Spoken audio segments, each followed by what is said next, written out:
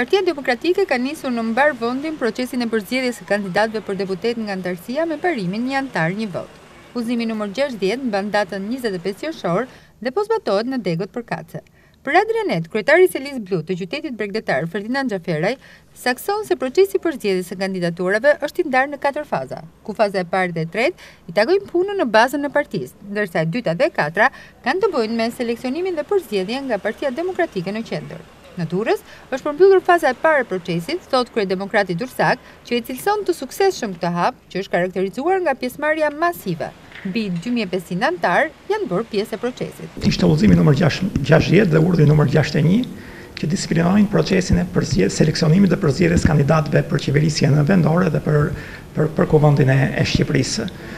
Që në fillim do duhet të sqaroj që ky proces nisi, nëse kthejmë kokën mbrapa, mbas zgjedhjeve të vitit dy mijë e shtatëmbëdhjetë, pati një debat të brendshëm në Partinë Demokratike për cilësinë e listave dhe kryetari i Partisë Demokratike Shqiptare, zoti Lulzim Basha, pranoi edhe përgjegjësitë e tij në hartimin e listave, duke dhënë fjalën që kjo do ishte hera e fundit që listat të hartoheshin si kompetencë e kryetarit, por do të do të ktheheshin te anëtarësia. Në zbatim të të të, të këtij premtimi, udhëzimi numër 60 dhe urdhri numër 61 disiplinojnë procesin e përzgjedhjes dhe seleksionimit të kandidatëve nga anëtarësia. Është një proces i ndarë në katër faza, ku faza e parë dhe faza e tretë i takojnë punës në bazën e partisë dhe faza e dytë dhe faza katër ka të bëjë me seleksionimin dhe përzgjedhjen nga Partia Demokratike në qendër. Ne sapo mbyllëm fazën e parë të procesit që unë mendoj që eci shumë mirë. Kur them mendoj që eci shumë mirë janë dy tregues kryesorë. E para pjesëmarrja e anëtarësisë që morën pjesë në proces ishin mbi dy mijë e pesëqind anëtarë të Partisë Demokratike që nga Ishmi deri në qendër të Durrësit që u përfshinë në proces dhe njëkohësisht edhe numri i madh i kandidaturave të propozuara që tregon që Qytetarët durrsakë shpresën dhe zgjidhjen e shofin te Partia Demokratike. Duke u ndalur te emrat e propozuar nga anëtarët për t'u bërë pjesë e listës së kandidatëve, zoti Xhaferaj shprehet se dallojnë personalitete që rikthehen dhe që kanë dhënë kontributin e tyre që nga viti nëntëdhjetë, por nuk mungojnë edhe të rinj të shkolluar në Perëndim. Ka një mozaik veçantish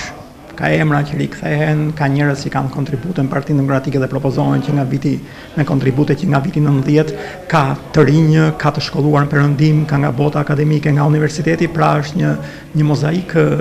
propozimesh dhe një numër shumë shumë i lartë i propozimeve. Por, a ka qenë pjesë e propozimeve nga anëtarësia, edhe kandidatët për të drejtuar bashkinë e dytë për nga rëndësia në vend, duke qenë se aktualisht, Institucioni i qeverisjes vendore në Durrës drejtohet nga një emër i emëruar dhe jo i zgjedhur nga qytetarët. Durrësi nuk ka kryetar bashkie, Durrësi ka zyrtarë. Durrësi u bë vite që nuk ka nuk ka drejtues të bashkisë. Shikohet që ka një problematikë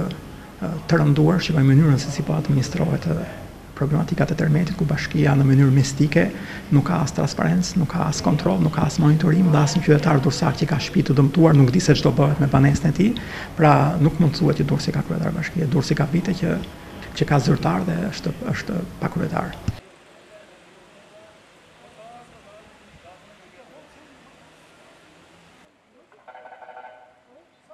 Janë disa dosje që ne kemi depozituar në SPAK. Bile këtë javë çojmë një dosje tjetër për bërjen dhe ribërjen e rrugës së së, së plazhit, fakti që kjo bashki është pa kryetar ekspozon probleme të rënduara.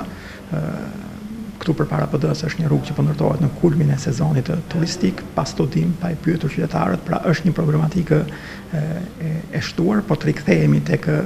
Tek zgjidhja dhe zgjidhja edhe ky proces dhe kjo fazë e parë e procesit të të të implementuar në Partinë Demokratike tregon që zgjidhja vjen nga Partia Demokratike. Ne kemi ngritur një grup një grup pune ku po evidenton gjithë problematikën që ka ka qyteti, duke qenë se Durrësi është pa kryetar, ne së shpejti do t'i drejtohemi zgjedhjeve lokale, për të evidentuar problematikën që ka qyteti me ekspertë nga të gjitha fushat, dihet që Durrësi është një nyje ku bëhen bashkë turizmi, transporti dhe tregtia dhe në funksion të problematikës do gjenden do do do bëhet evidentimi i problemit, kush është mundësia e zgjidhjes, kur do zgjidhet dhe si do zgjidhet, çdo qytetar durrsak ta di se ç'do ndodhë në territorin e tij dhe ç'do ndodhë në gjithë qytetin në vitet që bashkia do drejtohet nga Partia Demokratike. Gjatë këtyre ditëve paralajmëroi kryetari i Partisë Demokratike Durrës Ferdinand Xhaferaj do të dorëzohet një tjetër dosje pranë SPAK që ka në fokus problematikën që krijon rruga e plazhit.